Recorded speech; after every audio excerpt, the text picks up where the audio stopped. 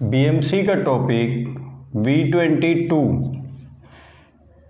G eighty four right hand right hand tapping cycle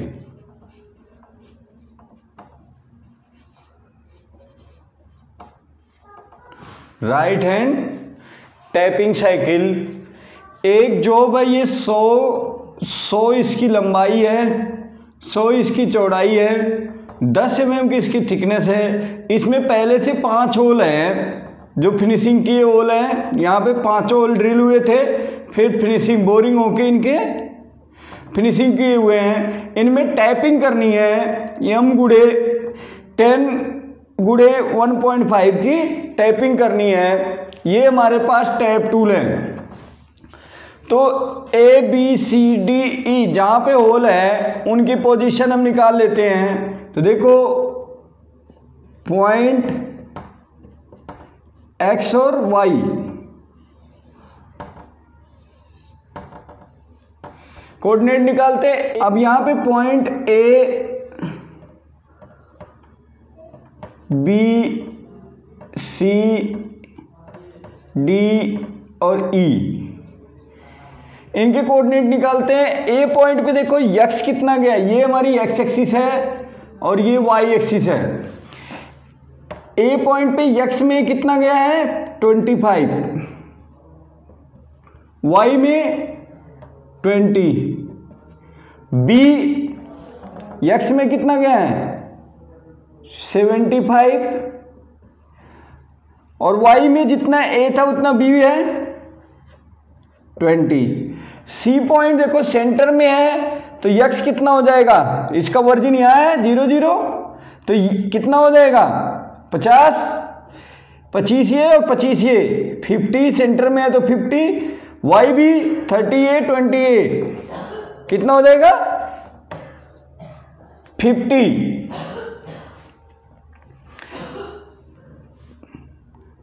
इसके बाद D point D point देखो X में कितना है? सेवेंटी फाइव और वाई में ट्वेंटी ए और सिक्सटी ए कितना हो गया? एटी और ई e पॉइंट देखो यक्स में कहा गया? ज़ीरो से. जितना हमारा ए है, उतना ही ई e है. ट्वेंटी फाइव और वाई में? एटी। ट्वेंटी ए और सिक्सटी ए टोटल कितने हो गए? एटी। ये तो इसका कोऑर्डिनेट हो गया जो पहले से होल हुए हैं। अब हमें इसमें यम टेन गुड़े वन पॉइंट फाइव का पिच काटनी है, डेढ़ की पिच काटनी है। तो देखो, इसमें जो होल होगा, वो 8.5 का होल हम करेंगे। पहले से होल 8.5 का है, इसमें टैप चलाना है 10.15 का। तो देखो राइट हैंड टैपिंग साइकिल पहले एडर लिखते हैं। O zero zero one N one G forty G forty nine tool length offset cancel यहाँ जी एटी लगा लो canned cycle cancel G ninety one G twenty eight Z zero point zero to home position G ninety one G twenty eight X zero point zero Y zero point job home position M zero six T zero one G zero G ninety G ten G seventy X Y plane X zero point zero Y zero point zero Z G zero G forty three tool length offset plus Z दस M M ऊपर रोक लो। H one spindle RPM देखो right hand tapping cycle tapping में हमारी जो spindle RPM होती है, वो हम कम रखते हैं। तो स्पिंडल आरपीएम हमने दे दी 300 M zero three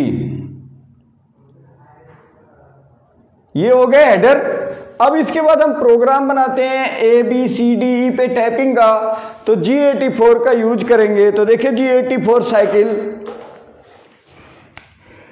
G ninety eight या जी नाइन्टी नाइन दोनों में से किसी का यूज़ करो। इसके बाद G eighty four right hand tapping cycle इसके बाद एक्स वाई होल की position X twenty five Y twenty Z देखो टाइपिंग कितनी करनी है? पाँच एम एम तक Z minus five R retraction plane दो एम एम इसके बाद पी ड्वेल टाइम हमने डाल दिया एक हज़ार।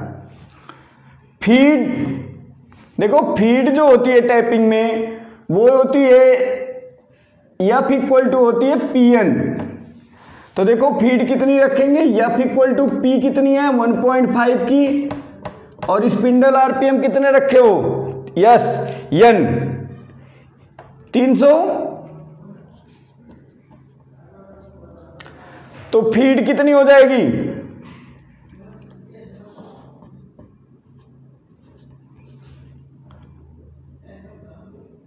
एक स्थान बाद दशमलव तो फ़ीड हमारी हो जाएगी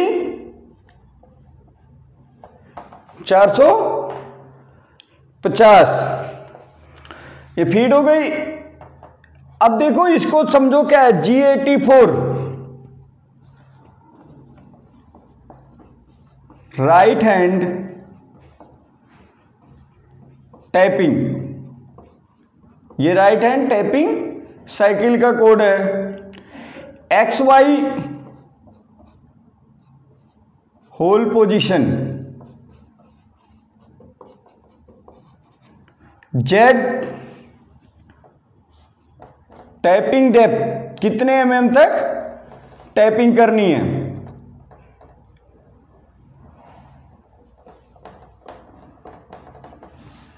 R retraction plane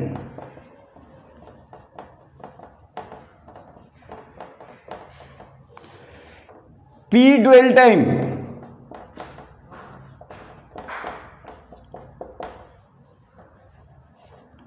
F feed G 98 लगाओ या 99 जी 84 जो होता है, ये राइट हैंड टैपिंग साइकिल है।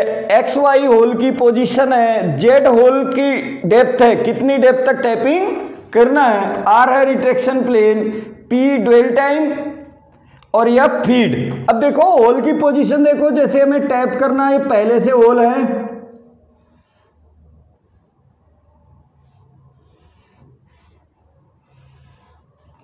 इनमें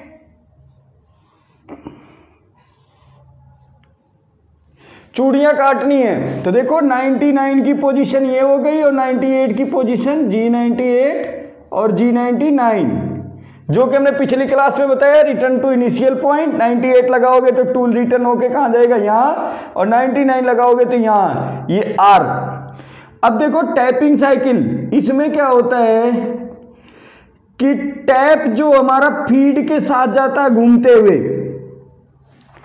एक्स वाई पोजिशन हो गई जेड हो गई डेप्थ कितने एम तक? यहाँ से ये पाँच एम तक गया। इसके बाद ये बॉटम पे कुछ समय के लिए टूल हमारा रुकता है। ऐसे घूमते हुए गया। कुछ समय के लिए बॉटम ड्वेल टाइम हमने डाल दिया। एक हज़ार मिली सेकेंड एक सेकेंड रुकेगा। उसके बाद टूल जो है, इसकी डायरेक्शन रिवर्स हो जाएगी। और ये फिर फ़ीड के साथ ही बाहर आता है। टूल ऐसे घूमते हुए गया। उसके बाद ये ड्वेल टाइम जितना पड़ा उतना देर टूल रुकेगा यहाँ पे। उसके बाद इसकी डायरेक्शन चेंज होके ये फ़ीड के साथ बाहर आ जाता है। और ये टैपिंग टूल जो है इस पर टैप काट देते हैं। थ्रेड बना देते हैं। ऐसे नेक्स्ट होल की पोजीशन देंगे। ये फ़ीड के साथ अंदर तक जाते हैं घूमते हुए। और फिर बॉटम पे थोड़ी देर रुकते हैं। ड्वेल टाइम जितना पड़ा है। उसके बाद डायरेक्शन चेंज होते हुए घूम डायरेक्शन इनके रोटेशन की चेंज होते हुए बाहर निकल जाते हैं। तो इनमें थ्रेड टैप बन जाते हैं।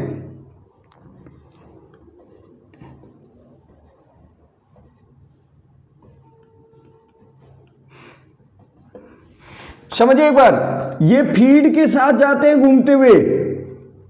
और बॉटम पे ड्वेल टाइम जितना पड़ा उतना देर रुकेंगे, उसके बाद टूल की जो डायरेक्शन है वो डायरेक्शन रिवर्स हो जाती है, जिससे वो इजीली बाहर निकलते हैं। लेकिन ये जब वापस निकलते हैं तो फ़ीड के साथ ही ये बाहर आते हैं। रैपिड में नहीं आते, नहीं तो ये थ्रेड प्लेन हो जाएगी। इसके बाद टूल अगर 98 लगाए हैं तो यहाँ पे, और 99 लगाए हैं तो यहाँ पे। तो G84 right hand typing cycle thread दो तरह की होती है लेफ़्ट हैंड और राइट हैंड जैसे देखो, यहाँ पे मार्कर में लेफ़्ट हैंड थ्रेड है। बाकी पेन देखो इस डायरेक्शन में ओपन होती है और ये इस डायरेक्शन में ओपन हो रहा है। तो इसमें कौन सी थ्रेड है? लेफ़्ट हैंड यहाँ पे हम कौन सी थ्रेड काट रहे हैं? राइट हैंड थ्रेड इसके बाद नेक्स्ट होल की पोजीशन दो। X seventy five Y twenty next सी पे हम देखेंगे यक्स फिफ्टी वाई फिफ्टी इसके बाद डी का एक्स देखो एक्स कितना होगा? सेवेंटी फाइव वाई एटी जितना ये, उतना ये एटी इसके बाद ई e पे देखो यक्स कितना होगा? यहाँ कोऑर्डिनेट निकालें X 25 Y 80 84 right hand typing cycle ये टूल फ़ीड के साथ जाता है बॉटम पे रुकता है, इसकी स्पीड रुकती है। इसके बाद ये जितना डुअल टाइम है यहाँ से, उसके बाद इसकी डायरेक्शन चेंज हो जाती है। ये ऐसे जाता घूमते हुए, उसके बाद रुकता है, फिर डायरेक्शन चेंज होके ये बाहर आता है। 84 right hand tapping cycle X Y hole की पोजीशन जेड होल की डेप्थ आर रिट्रेक्शन प्लेन कितना ऊपर जाएगा? इसके बाद पी डुअल टाइम फिर फ़ीड इसके बाद ये तो हो गया हमारा टैपिंग साइकिल इसके बाद footer G ninety one G twenty eight Z zero point two लोम पोजिशन फिर G ninety one G twenty eight X zero point zero Y zero point job home position M zero five spindle stop इसके बाद M thirty program end end reset program end होके start होगा। तो 84 right hand tapping cycle का use किया जाता है tap tool से थ्रेड काटने के लिए किसी जॉब